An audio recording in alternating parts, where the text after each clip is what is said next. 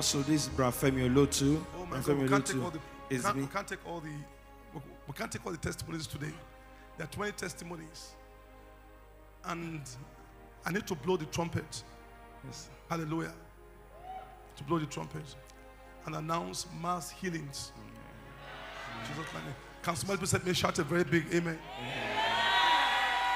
He's been having this ear problem for about 11 years. 11 He years. has gone for CT scan back and forth, and today you can just find out that the hair is okay. You can hear properly with it now. Yes, sir. What happened? Um, Sorry, this is, is, is, is with us, been with us. It's one of our church members.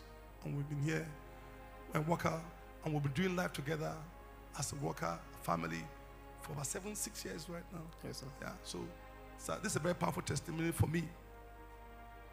So what happened to you? I arm robber attacked us, so I fell from the ceiling. Yeah. I hit my head on the ground since 2006. 2006. Yes, sir.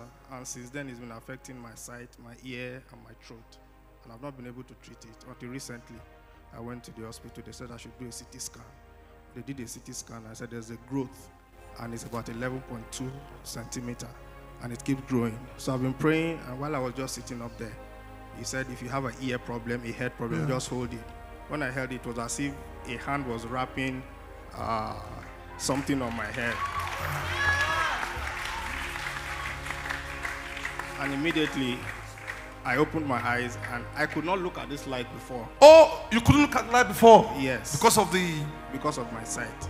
But can you can you I can, I can even look at let somebody shout a big hallelujah? This is what happens. Ide bube, ide omimi, ide bube,